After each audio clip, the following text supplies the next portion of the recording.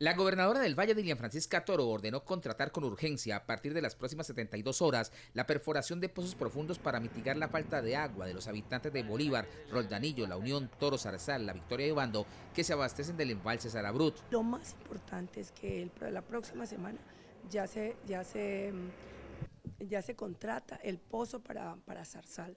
Se, en dos meses, porque es que todo tiene compra de predios, todo tiene los, lo, que hay que hacer para contratar. Se contratan pozo para Obando y para, y para La Victoria. Aunque la ley permite concesiones para otros usos, ante la actual situación, la prioridad es el consumo humano. Se va a hacer todos los esfuerzos para que el agua en este momento que lo están necesitando es más importante para consumo humano.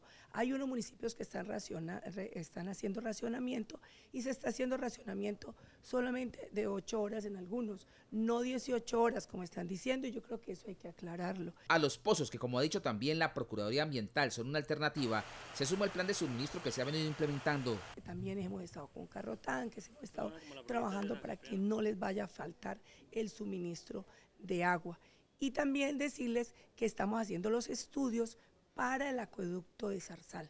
Una acción prioritaria y conjunta entre Acuavalle, Vallecaucana de Aguas y CBC es la que lidera la gobernadora Dilian Francisca Toro, tratando de garantizar más agua potable para consumo humano a pesar de la actual sequía.